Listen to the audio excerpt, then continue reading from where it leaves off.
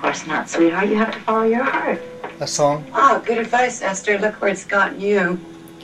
by Paul Could I Beckman, say Holly Rainbow goodbye to my granddaughter, please? created March 17th, 2009. Hello, sweetheart. Hello, my precious. Don't you listen to one single word your mother says about me, okay? Jill, I'm not booting you out of her life. Using the guitar Look, chords. Chloe, I know you think you're doing the right thing, okay? But please be careful of Billy. He's a consummate charmer. F sharp 11 and B minor. He really loves Celia. I know he does. And The I song is gonna be intentions are good. He's a charmer. Is that enough? I mean, what are you going to say to your daughter when her father just disappears? And he will. There is nothing worse than watching your child's heart break. He might end up surprising you. Maybe, but he hasn't yet. Honey, you are foolish if you think he's going to change anytime soon. He's a charmer, he's a charmer. Whoa.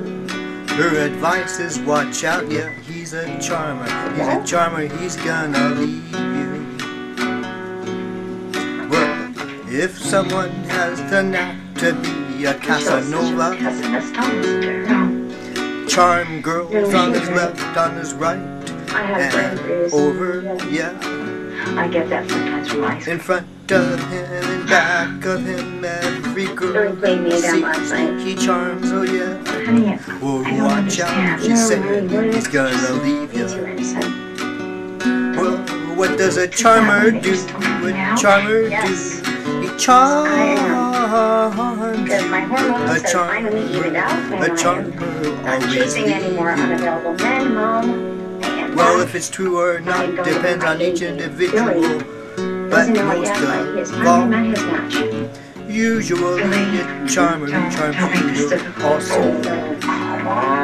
Charm another girl, another More than you can girl, and yet another conquest of a charmer, a charmer Casanova. Uh, she's a big mouth. Here, don't care.